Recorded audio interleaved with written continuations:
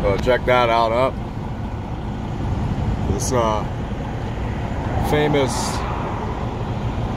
view from uh, Hurricane, Utah that everybody knows about. Everybody knows and talks about all the time. You know the one.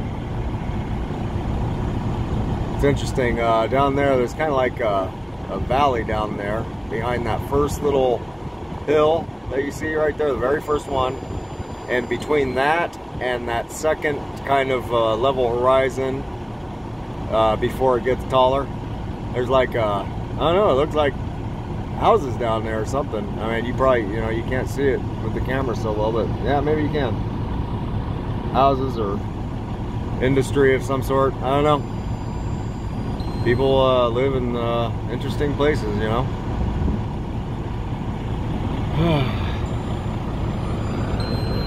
wow. Yep, good old Utah. So, anyhow, how are you? You doing well? I hope. I trust. I bet you are. Yep, I'm doing well too. Actually, thanks for asking. Um, how about a quick check-in, shall we? Let you know uh, exactly what the deal is here. Uh, get rid of, oh, I can't get rid of any of those. oh well. So uh, let's see what we got. Today is Saturday, October 3rd. Yep, it's already the 3rd. I know, it's crazy. Um, geez, you know, Christmas is going to be like right around the corner. I mean, man, two months. Huh. Yeah, it's incredible. Yep, so Saturday, October 3rd, redundant. And uh, time here in Hurricane, Utah is 2.11 p.m. with a uh, whopping temperature outside of uh, yeah, 89, 90, 91, somewhere around in there. I'll know, I'll know better here in a minute. Once the uh, gauge settles a little bit, it might not be 91. I don't think it is. Uh, but it's warm. It's definitely warm. I mean, this is Utah after all.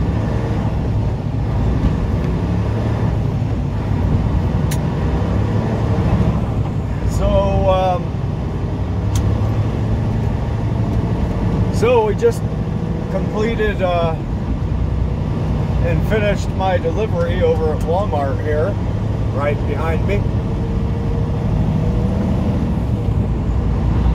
That was uh, well that was an interesting um, event. I mean it was I call it an event. right on West State Street. But it was actually quite uneventful. I mean if that makes sense uh, it was so uneventful in fact that uh, I got kind of irritated I don't know. There was some mis there was a misunderstanding and perhaps a little confusion and uh, perhaps a little human error on the part of the driver of this here truck.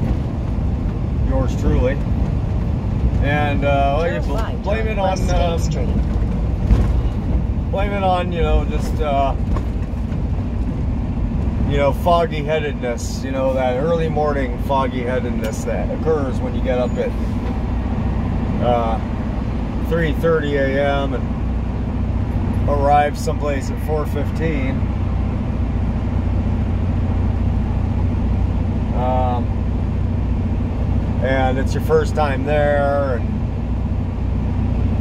they start handing you papers that are kind of confusing the way they're worded. But uh, basically what happens, the way that works over here, at the uh, Walmarts is um, you uh, you get to like you go through this check-in gate you go through this kind of process to do the check-in. And uh, and they're very secure minded in, in the way that they they do their thing. It's very high security like it's Walmart so they're very I-15. Um, yeah, I mean, they want to see your driver's license, and they actually check the seal. they actually check like the seal that you know, basically you put on your on your doors. Uh, whereas a lot of places don't even bother checking it. They sure do here. Three quarters of a mile, keep right, I-15. And so what they do from the check-in is, um, wow, would you look at that view? Isn't that cool? That's Utah. Isn't that cool? I don't know if you're seeing it that well, but it's really cool. So what they do at the check-in is they go through all that stuff and then they direct you to a dock door. You know, they say, okay, go ahead, you know, get over there, pop the seal, put the seal in this this bag that we're Keep giving you. right, I-15. It's like a manila folder kind of thing, kind of. So put the seal in the bag. You know, open your doors. Back up to the dock door. Chalk your tires. And uh, then uh, uncouple from the trailer. And then go park uh, like across from where the dock doors are. You know, and, you know where they have Bobtails Park.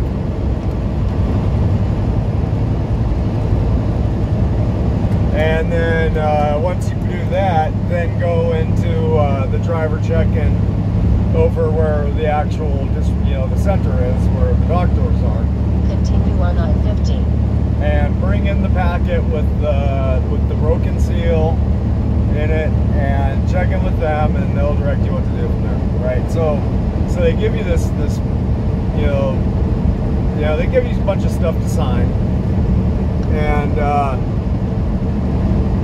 and then um, he gave me this form, right? It's just this. It's basically just this sheet of paper.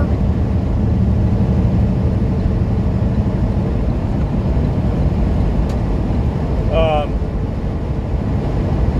and it says it has like this option on there where uh, to get your signed copy of the BOL you can uh, either provide them with a fax number or an email and um, and then have the signed copy of the BOL sent to that within like two hours right of uh, you know whatever from that very time I guess or um,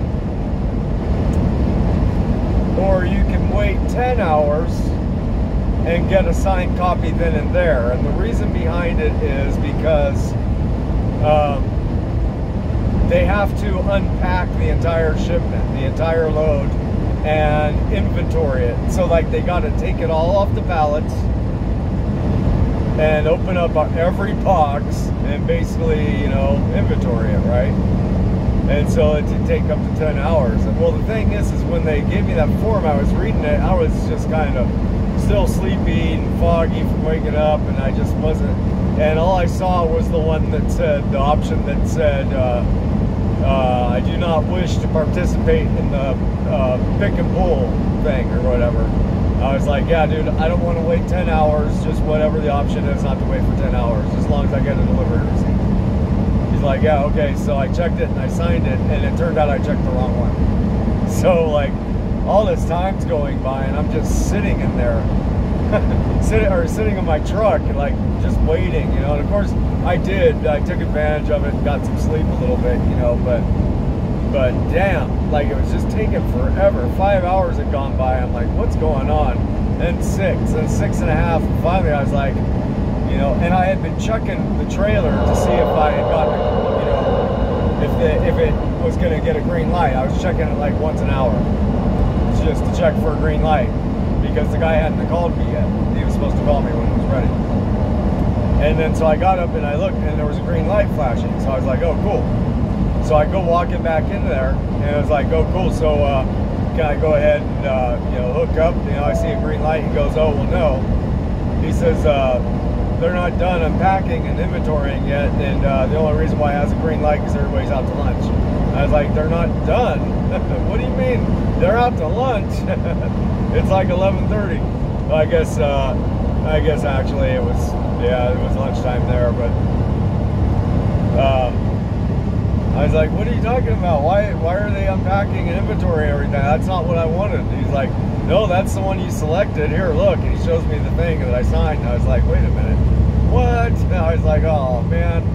And I got kind of I got kind of irritated with him. I was like, man, this is just super inefficient, man. Like this is crazy. Like I've been waiting here like seven hours. I thought I'd chosen the one where I wasn't going to do all that. He goes, yeah, well, that's the one you picked. I, I says, okay, well, just let's pick the regular one. He goes, it's too late now. I says, oh shit.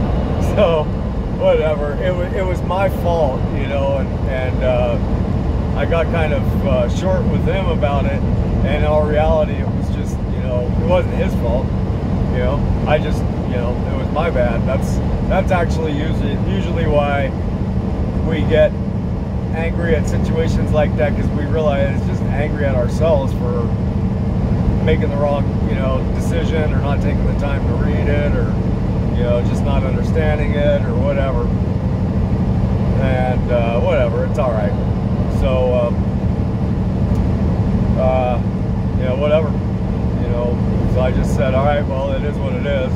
Came back out to the truck and kind of hung, hung out and just, you know, worked on some videos, you know, to upload and, and then, uh, ended up getting uh, information on my next load here while I was waiting. And I'll talk about that in a minute. And uh, then, you know, whatever. Then, uh, then he called me not, you know, not too much longer after that. When, when I got the information about my next load, I was like, okay, well, I better go get some sleep then. And uh, so I, you know, got back in the rack again and, you know, turned off the phone, you know, not turned it off, but put it down and, you know, said, all right, now I'm going to go ahead and uh, focus on getting some sleep. And uh, next thing you know, he calls me. He's like, all right, yeah, I got your paperwork ready for you. You're good to go. Ah, shit. all right.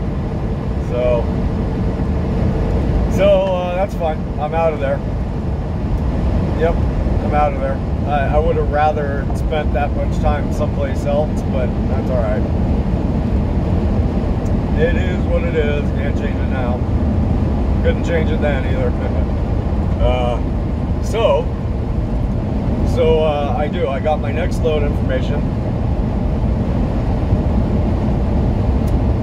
So uh, what I'm doing is I'm heading back southbound now on 15 uh, same way that I came uh, up through up through Vegas and all that.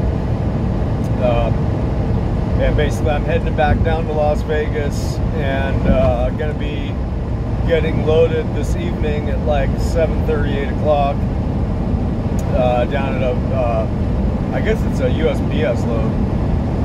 Uh, so I'm running down to their center, their facility, and we're gonna get and uh, I'm going to be heading out to Ontario, California, which is down in LA area. And uh, so yeah, so that's my next run, which I'll be doing tonight. So hence, I need to get some sleep. That's what I was saying. Like, oh, as soon as I got that information, I was like, okay, I better get some sleep. So I I think I guess guess I got to run all night. So, actually, I should probably check and see what my uh, what my delivery appointment time is here. I know what my pickup appointment time is. Let's see here. What do we got? Yep. So Ontario, California.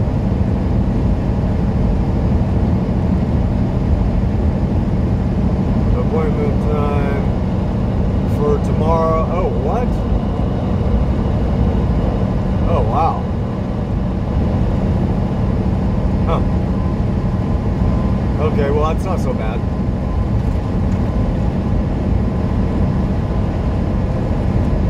Okay. Well, that's, that's, not so bad at all. I don't know. I guess I, I just kind of assumed that uh, I'm looking at, like, I was looking at a long drive but actually, yeah, it's not that far out to Ontario from Las Vegas. So my delivery time is for uh, 1 a.m. Uh, you know, like an hour after midnight tonight. I'll be running straight through. Um, whatever that's going to be, a five or six hour drive, so which is uh, yeah, it's not bad. That's not bad at all. I can handle that. That's easy peasy. I could do that without any sleep uh, at all today. I got enough sleep last night and uh, part through this morning to be able to handle that. So no worries on that. That's cool.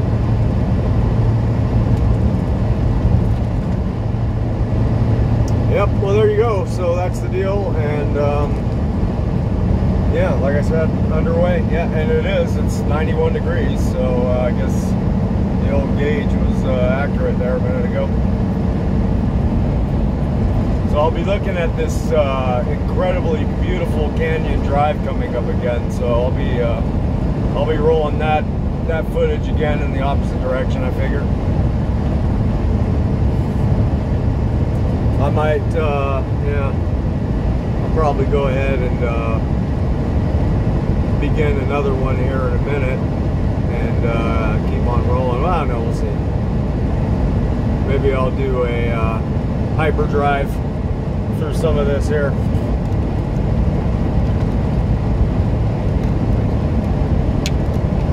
I probably better plug this in though if I'm gonna.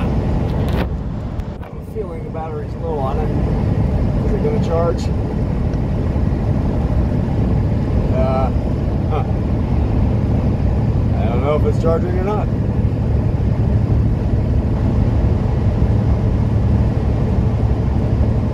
Huh. Alright, well I gotta check this out here and uh, we're already into a pretty long video here so I'll wrap it up and uh, I will see you on down the road.